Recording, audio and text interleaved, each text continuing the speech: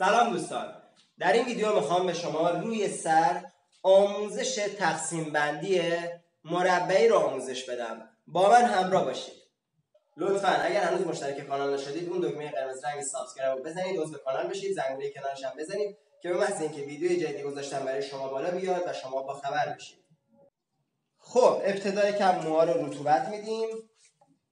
خب موها رو رطوبت که دادید.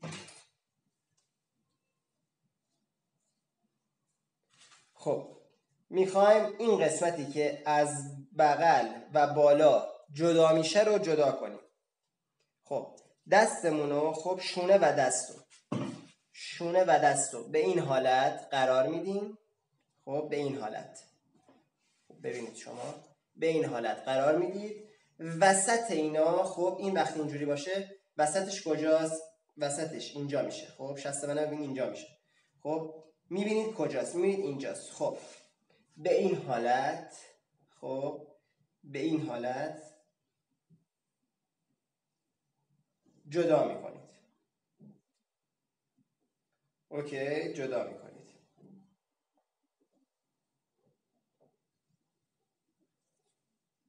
خب گیره می‌زنید. گیره زدید رو خب میاید اون بر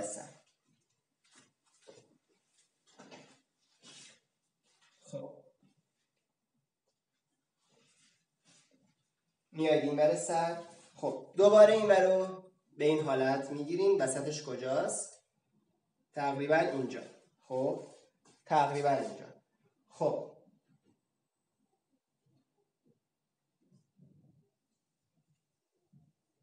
یکم رطوبت میدیم ما رو.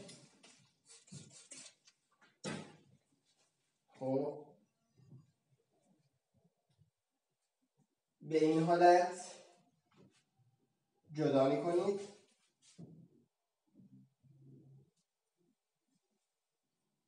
شونه می‌کشید. و گیره می‌زنید.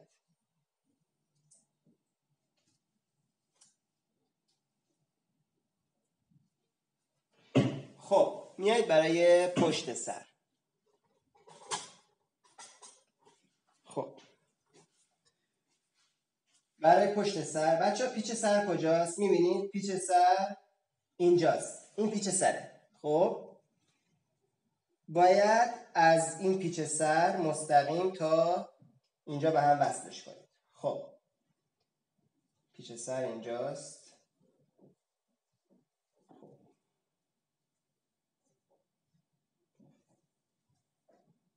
خب از روی این پیچ سر می‌گیریم خب از روش مستقیم می‌کشیم بالا.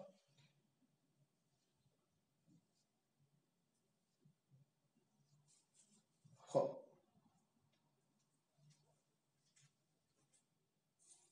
گیره میندازیم. البته یکم موهاش کوتاه است خب آره. این ویدیو فقط جهت آموزشیه که به شما بگم چجوری تقسیم بندی مربعی رو انجام بدین روی سر. می‌بینید اینجا کشیدم. اگه, اگه پیچ سر این بالا بود خب ما این خط پشت سر رو میوردیم جلوتر روی پیچ سر رد می‌کردیم. چون باید روی پیچ سر رد بشه. اگر بالاتر بود توی سقف سر بود. این پشت هم هست از این پشت رد می‌کنیم. اوکی؟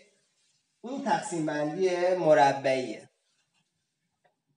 همونطور که گفتم سطح شناسی می‌کنید. اینجوری با این حالت با شونتون وسط اینو در میارید با شونه و گیره می‌زنید. این ورس او ور سرم همینجور. پشت سرم از روی پیچ سر. ببینید پیچ سر کجاست. از روی همون انجام بدید. اگر دو تا بعضی اصلا دو تا پیچ سر دارن. یکی اینجاست یکی اینجاست. خب یکیشون قالبه همیشه.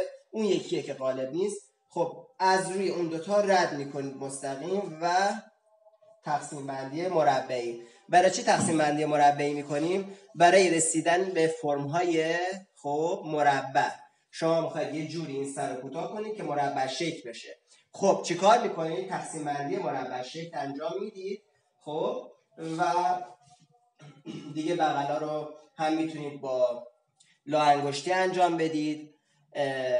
به صورت عمودی هم می‌تونید با شونه قیچی به صورت افقی انجام بدید هم می‌تونید لایه لایه لایه لایه هم به صورت افقی هم به صورت عمودی انجام بدید. خب هم به صورت اوری میگم لایه لایه رو می‌تونید انجام بدید.